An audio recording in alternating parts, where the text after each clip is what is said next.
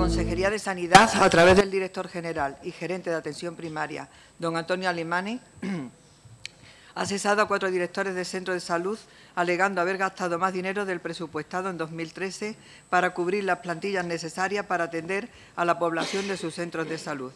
Dos de los directores, Paulino Cubero e Isabel Giraldez, de los centros de Carabanchel, General Ricardo y Fátima, respectivamente, tuvieron un papel muy destacado en la marea blanca, la protesta contra los planes de privatización sanitaria del Gobierno regional.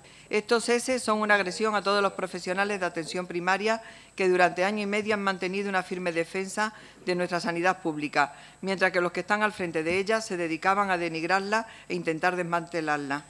Por ello, mantenemos los de estos directores, entendemos los S de estos directores como una clara medida de represalia.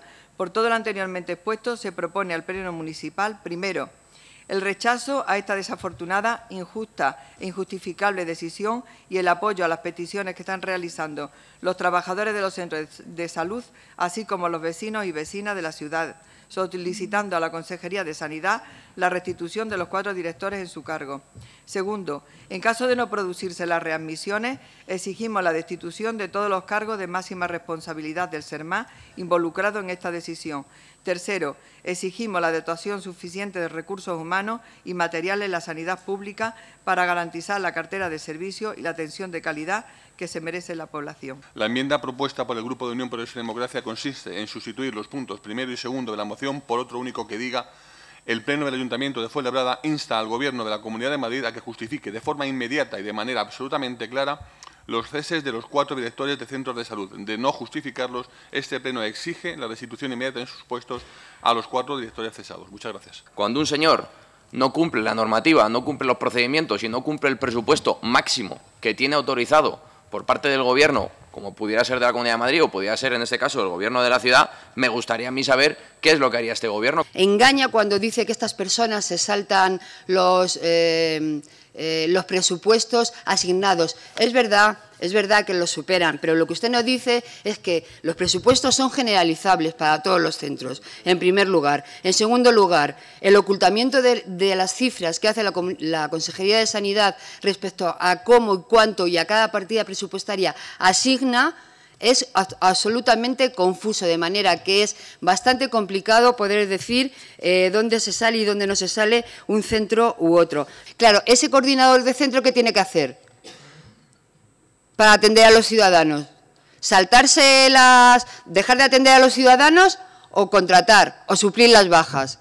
Han aparcado la privatización de los hospitales y ahora se están eh, centrando en la atención primaria tomando medidas arbitrarias con el único objetivo de castigar a los que, se significan en su defensa. Se trata de represaliar a, profesionales cuyo único delito es haber intentado garantizar una atención sanitaria de calidad. El tema de que hayamos presentado esta enmienda es porque esto es un asunto de ámbito autonómico. Es más, esto pertenece a la Comunidad de Madrid y a la Ciudad de Madrid.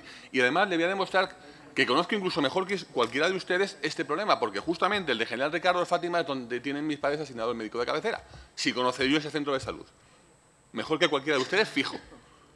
Y se ve los problemas que tiene porque me lo dicen, oye, cada vez está la cosa peor. Eh, Paco, si me permites, Paco, desde mi humilde alegación, evidentemente será el consejero el que traslade a la a la entidad competente, que en este caso, como bien dices, es la Comunidad de Madrid y la Asamblea de Madrid, las, respuestas oportunas, se han pasado de la raya con el tema de los presupuestos, casualmente estos cuatro señores, o estos cuatro eh, directivos, y en la, Comunidad de Madrid obra en consecuencia igual que ustedes. Ustedes tienen una, noción de que eh, eh, las ciudades están por un lado, la comunidad está por otra, unas son Estado, otras, perdone, todos somos administración pública y Fuenlabrada no es una isla. Eh, los coordinadores que no se saltan ni un céntimo el presupuesto asignado cargan sobre los demás profesionales todo el trabajo y así ocurre que yo pido cita para mi médico de cabecera y me lo dan para dentro de 10 días.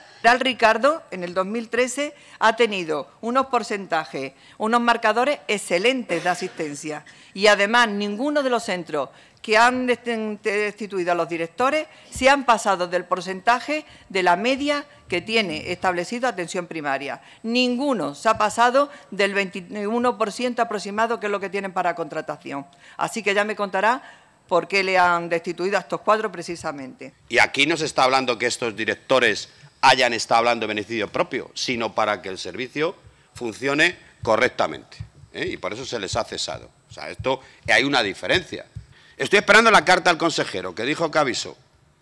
Pero le, a, lo mejor no me la ha mandado porque le pedí que a esa carta la acompañara con otra carta, que era el cumplimiento del compromiso con esta ciudad desde hace ya varios años para construir el nuevo centro de atención primaria del barrio del Hospital Universidad y Vivero, que como bien sabe, cedimos la parcela en el 2007. Como bien sabe, la presidenta de la Comunidad de Madrid aquí, con los medios de comunicación en público, dijo que, bueno, ¿cómo nos iba a hacer ese centro de atención primaria?